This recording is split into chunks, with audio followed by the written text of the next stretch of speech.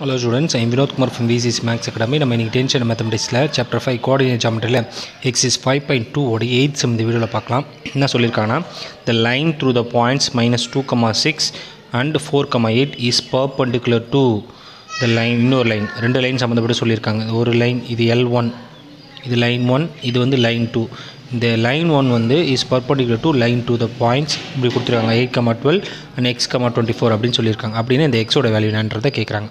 So இப்போ இது ஒரு சின்ன டயக்ராம் போடலாம். டயக்ராம் போட்டு உங்களுக்கு புரிய வைக்கிறேன். இப்போ என்னென்னா இந்த மாதிரி இதான் லைன் ஒன் இதாவது லைன் ஒன்னா என்னென்னா இங்கே வந்து மைனஸ் டூ கமா சிக்ஸ்ன்ற பாயிண்ட் இருக்க மாதிரியும் இங்கே ஃபோர் கமா எயிட்ன்ற பாயிண்ட் இருக்க மாதிரியும் எடுத்துக்கிறோம். ஓகேங்களா? ஸோ கிராஃபில் போட்டால் வேறு மாதிரி வரும். ஆனால் நம்ம இப்போ என்ன பண்ணுறோம் கேட்டிங்கன்னா நம்ம எக்ஸ்எக்ஸ் எக்ஸஸ் போடாமல் தான் போடுறோம். சும்மா வந்து இந்த லைன் இப்படி இருக்கிற மாதிரி எடுத்துப்போம். இந்த லைன் தான் எல் ஒன் இந்த லைன் எல் ஒன் இல்லையா? இந்த லைனுக்கு இன்னொரு லைன் வந்து எல் டூ இதுதான் எல் டூ இது பர்பண்டிகுலராக இருக்குது அப்படி பர்பண்டிகுலராக இருக்குன்னா இதோட பாயிண்ட் என்னென்னா ஒன்று வந்து இங்கே எயிட் கமா டுவெல் இருக்கிற மாதிரி எடுத்துப்போம். இங்கே வந்து பார்த்தீங்கன்னா எக்ஸ் கமா டுவெண்ட்டி ஃபோர் இருக்கிற மாதிரி எடுத்துப்போம்.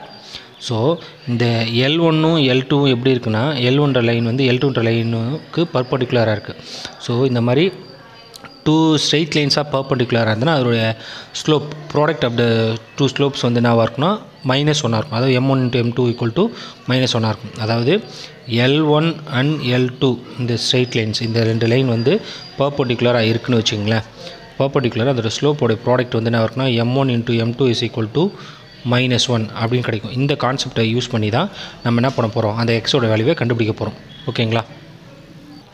அப்போ இந்த ரெண்டுத்துக்கும் நான் கண்டுபிடிக்கிறேன் பார்த்தீங்களா இந்த ரெண்டுத்தையும் வச்சு நான் என்ன கண்டுபிடிக்க போகிறேன்னா இது ஸ்லோப் எம் ஒன் ரெண்டுத்துக்கும் ஸ்லோப் கண்டுபிடிச்சி அதை எம் ஒன் எடுத்துக்க போகிறேன் இது ரெண்டுத்துக்கும் நான் கண்டுபிடிக்க போகிறேன் போகிற பார்த்தீங்களா ஸ்லோப் கண்டுபிடிக்க போகிறேன் அதை எம் டூன்னு எடுத்துக்கிறேன். அது ரெண்டுத்தையும் ப்ராடக்ட் பண்ணால் மைனஸ் ஒன் என்ற கான்செப்டை யூஸ் பண்ணி தான் ஏன்னா அது பர்பண்டிகுலர் அப்படின்னு சொல்கிறாங்க அந்த கான்செப்ட் யூஸ் பண்ணி தான் நம்ம எக்ஸோட வேலையை கண்டுபிடிக்க போகிறோம் ஃபஸ்ட்டு என்ன பண்ண போகிறோம் இதுக்கு நேம் கொடுக்கணும். இது ஏன்னு எடுத்துக்கிறேன். இது என்னென்னு எடுத்துக்கிறேன்னா பின்னு எடுத்துக்கலாம். இதை வந்து சின்னு எடுத்துக்கலாம். இதை வந்து டின்னு எடுத்துக்கலாம். ஓகேவா இப்போ ஃபஸ்ட்டு ஏபியோடைய ஸ்லோப் கண்டுபிடிக்கணும். ஏவோட வேல்யூ வந்து மைனஸ் டூ கமா சிக்ஸ் பியோட வேல்யூ வந்து ஃபோர் கமா எயிட் அதே போல் இந்த பக்கம் சியோட வேல்யூ வந்து எயிட் கமா டுவெல் டியோட வேல்யூ வந்து X comma twenty four so இப்போ இதுக்கு நான் என்ன கண்டுபிடிக்க போகிறேன் ஸ்லோப் கண்டுபிடிக்க போகிறேன் ரெண்டுத்துக்கும். ஸோ ஸ்லோப் கண்டுபிடிச்சி ரெண்டுத்தினுடைய ப்ராடக்ட்டையும் அதாவது ரெண்டுத்தினுடைய ஸ்லோப்பையும் மல்டிப்ளை பண்ண போகிறேன் எக்ஸ் ஒன் இது ஒய் ஒன் இது எக்ஸ் டூ இது ஒய் டூ அதே போல் இதில் எக்ஸ் ஒன் இது ஒய் ஒன் இது எக்ஸ் டூ இது ஒய் டூ ஸோ ஃபஸ்ட் நான் என்ன பண்ண போகிறேன் slope of AB slope of AB நம்ம என்னென்ன எடுத்துக்கலாம்? எம் ஒன் அப்படின்னு எடுத்துக்கலாம்.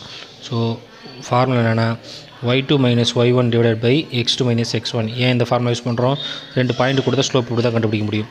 அப்போ ஸ்லோப் ஆஃப் நமக்கு என்ன இருக்குன்னு கேட்டிங்கன்னா சிடி இப்போ இதுக்கு இதை தான் நம்ம என்ன எடுத்துக்க போகிறோம்னா எம் டூன்னு எடுத்துக்க போகிறோம் இதுக்கும் formula Y two minus Y one divide by X two minus X one okay so இப்போ என்ன பண்ணலான்னா Y two minus Y one eight minus six divided by four plus two ஏன்னா மைனஸ் இன்டு மைனஸ் ப்ளஸ்ஸாக மாறிடும். அப்போ two by நமக்கு என்ன கிடைக்குன்னா ஃபோர் கூட டூ ஆட் பண்ணால் சிக்ஸ் இதை கேன்சல் பண்ணால் நமக்கு one two is two three two sir six அப்போ எம் ஒன்னோட வேல்யூ என்னென்னு கிடச்சோம்னா ஒன் பை த்ரீ அப்படின்னு கிடச்சிருச்சு. ஸ்லோப் ஆஃப் சிடி கண்டுபிடிக்க போகிறோம் Y two minus Y one twenty four minus twelve divided by X two minus X one X minus eight twenty ஃபோரில் twelve போனால் டுவெல் தான் இருக்கும். Twelve by X minus eight எதுவும் பண்ண முடியாது.